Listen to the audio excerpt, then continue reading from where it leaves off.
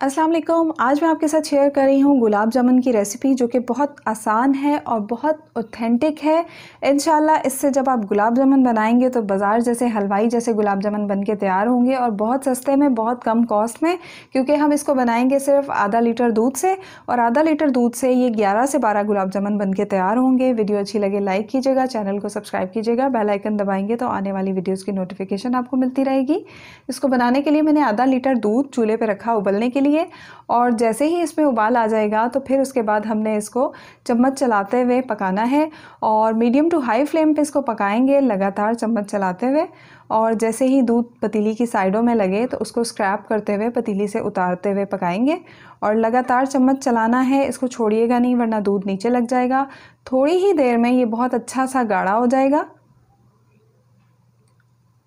और बस इसी तरह लगातार चम्मच चलाते हुए इसको पकाएँगे, साइडों से स्क्रैप करते हुए। और ये ज़बरदस्त सी रेसिपी है उमैमा मरियम के लिए। उमैमा की बर्थडे है तो हैप्पी बर्थडे उमेमा। तो बस हमने इसको इतना पकाना है, बहुत ज़्यादा गाढ़ा नहीं करना है, क्योंकि ये ठंडा होने के बाद और ज़्यादा गाढ़ा होता है और ज़्यादा ड्राई होता है। अब हम इसका चूल्हा बंद कर देंगे और इतनी ही कंसिस्टेंसी हमने इसकी रखनी है और ये जब ड्राई हो जाएगा और ठंडा हो जाएगा तो ये बिल्कुल गाढ़ा हो जाएगा खोए की तरह।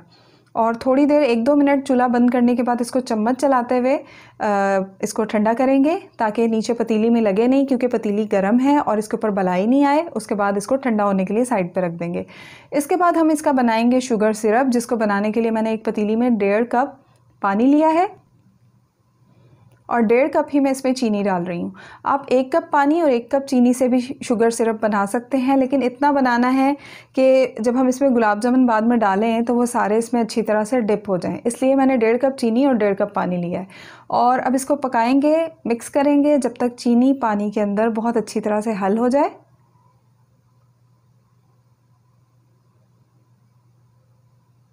तो बस हमने इसको बहुत देर तक नहीं पकाना है। बस जैसे ही चीनी पानी के अंदर हल हो जाए, हमने इतना ही इसको पकाना है।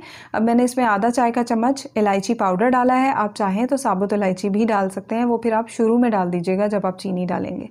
और फिर हम इसको बंद करके चूल्हा और ढक के साइड पर रख देंगे।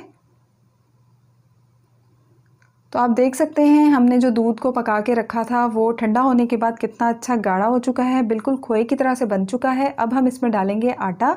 चक्की का आटा वीट फ्लावर जो हम रोटी बनाने में यूज़ करते हैं, वो अपने इसमें डालना है। आप इसकी जगह मैदा भी डाल सकते हैं। और दो खाने के चम्मच मैंने आटा डाला है और एक चौथाई चाय के चम्मच से थोड़ा सा कम बेकिंग पाउडर और एक चौथाई चाय के चम्मच से थोड़ा सा कम बेकिंग सोडा। इनको अच्छी तरह से मिक्स करेंगे। अगर ज़रूरत पड़ेगी तो फिर थोड़ा सा आटा हम इसमें और ऐड कर लेंगे। शुरू में इसको चम्मच से ही मिक्स करेंगे क्योंकि ये बहुत स्टिकी है, हाथों से चिपकता है। तो शुरू में अच्छी तरह इसको चम्मच से मिक्स कर लेंगे। बाद में फिर हम इसको हाथ की मदद से करेंगे। एक चाय का चम्मच यहाँ पे मैंने घी लिया है, देसी घी लिया है। आप नॉर्मल दूसरा वाला घी भी ले सकते हैं। इसको हाथों पे लगा के हम इसको हल्का सा गूंद लेंगे। और हाथों पे घी लगाते हुए हम इसको हल्का सा गूंदेंगे ताकि इसकी स्टिकीनेस जो है वो ख़त्म हो जाए। और इसमें मैं आधा खाने का चम्मच आटा वीट फ्लावर और डाल रही हूँ। फिर इसको दोबारा से मिक्स कर लेंगे। तो बस इस तरह हाथ पे घी लगाते हुए इसको मैंने इस तरह से कर लिया है। तो इसकी स्टिकीनेस काफ़ी हद तक कम हो गई है, पतीली से अलग कर लिया है। और फिर हम इसको इस तरह से हाथ की मदद से रोल करेंगे। तो हल्के हाथ से रोल करेंगे, वरना ये हाथों पे दोबारा से चिपकना शुरू हो जाएगा। इस तरह से हाथ की मदद से रोल कर लेंगे।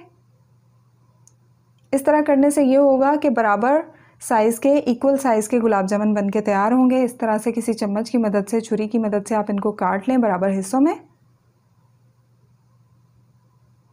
इसके बाद इसमें से एक पीस लेंगे। और इसको हाथ में अच्छी तरह से प्रेस करते हुए इसके बहुत अच्छे से बॉल बना लेंगे। प्रेस करते हुए इसके अच्छे से बॉल बनाएँगे। बिल्कुल स्मूथ से बॉल बनाने हैं। इसमें क्रैक और लाइंस नहीं होनी चाहिए।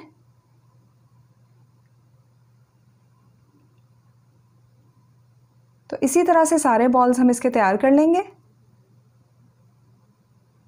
ऑयल गर्म होने के लिए रख दिया था, लेकिन ख्याल रखिएगा, ऑयल हल्का गर्म होना चाहिए। अगर ऑयल तेज़ गर्म हो गया तो आप जैसे ही इसमें गुलाब जामुन डालेंगे, वो ऊपर से एकदम से डार्क हो जाएँगे और अंदर से जो है वो कच्चे रह जाएँगे। और अंदर से फिर जब आप उसको काटेंगे तो अंदर से एक हार्ड सा बॉल रह जाएगा। तो इसलिए आपने हल्के गर्म ऑयल में गुलाब जामुन डालने हैं और उसके बाद इसको लो फ्लेम पर ही पकाना है। लो फ्लेम पर इसको पकाएँगे। ताकि ये अंदर तक अच्छी तरह पक जाए और अंदर तक अच्छी तरह सॉफ्ट हो जाए। लो टू मीडियम फ्लेम के दरमियानी आँच पे इसको पकाएँगे।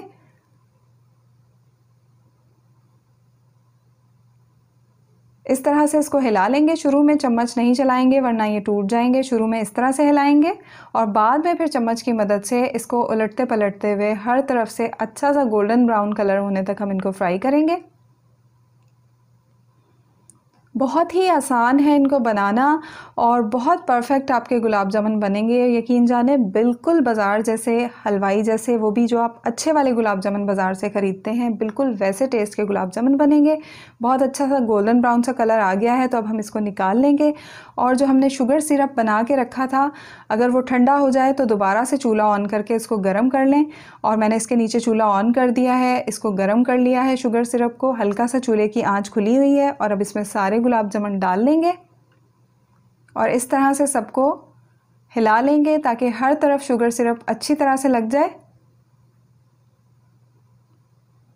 इसको गर्म करके फिर आपने इसमें डालना है और इसमें डालने के बाद इसका चूल्हा बंद कर देंगे और इनको ढक के रख देंगे तकरीबन आधे घंटे के लिए।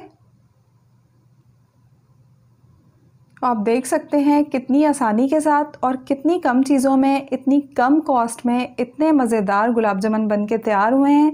मैं आपको अभी इसको काट के भी दिखाऊँगी। आप देखिएगा, ये अंदर तक बिल्कुल सॉफ्ट बने होंगे। जैसे कि पाँच दफ़ा होता है गुलाब जामुन गुलाब जामुन बनाते हैं तो अंदर से आपका कोई हार्ड बॉल रह जाता है। बिल्कुल भी ऐसा नहीं होगा। इसके ऊपर से हम थोड़े से पिस्ते डाल के गार्निश करेंगे।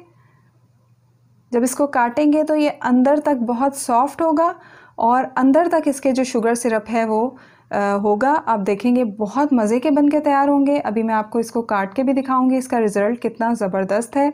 और सिर्फ़ आधा लीटर दूध में आपके तकरीबन दर्जन गुलाब जामुन 11 से 12 गुलाब जामुन बन के तैयार होंगे। और बहुत ही मज़े के बहुत ही ज़बरदस्त कोई भी गैस नहीं कर पाएगा कि आपने ये घर पे बनाए हैं। तो इस तरह से इसको सर्व करें ऊपर से शुगर सिरप डाल के। और अभी मैं आपको इसको काट के दिखाती हूँ। आप देख सकते हैं ये कितने सॉफ्ट हैं अंदर तक सॉफ्ट हैं। इसके अंदर बिल्कुल भी आ, कोई हार्ड बॉल नहीं है गुटली नहीं है। अंदर तक सॉफ्ट हैं और इसके अंदर तक जो है शुगर सिरप बिल्कुल अच्छी तरह से एब्ज़ॉर्ब हो चुका है। ज़रूर ट्राई कीजिएगा अपने घर वालों को बना के सबको खुश करें। दुआएँ लें और मुझे दुआओं में याद रखिएगा। अल्लाह हाफिज़।